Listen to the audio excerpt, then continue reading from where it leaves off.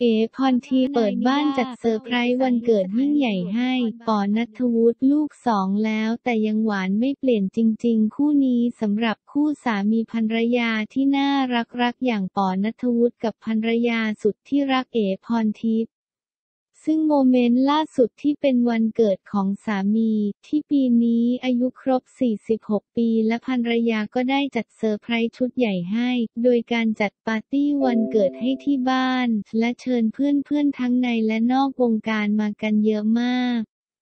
เรียกว่าสุดประทับใจเจ้าของวันเกิดมาก มีทั้งนักร้องที่มาเซอร์ไพรส์อย่างบอย Peacemaker ก้องห้วยไร่และสิงโตนำโชคที่มาร้องเพลงเพราะเพราะสร้างความสุขให้ทั้งเจ้าของวันเกิดและแขกที่มาร่วมงาน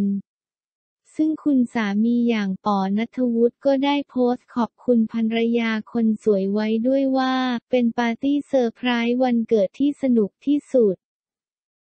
ตกใจกับเพื่อนๆที่รักกันที่สุดว่าทำไมมากันเยอะขนาดนี้ ดารานักร้องก็มากันเพียบผมทำไม่ได้นะเนี่ยผมเชิญแขกแบบนี้ไม่ได้แน่ ๆ คนเดียวที่ทำได้ คือเธอคนนี้เลย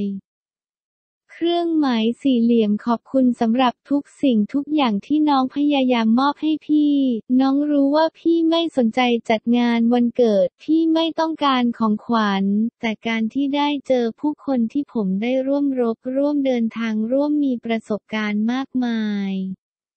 ในหลากหลายช่วงอายุ เรื่องราวและบุคคลที่ผมเคารพและรักมารวมอยู่ในงานนี้หมดเลย ผมมีความสุขมากจริงๆ ขอบคุณนะครับภรรยาคนสวยของผม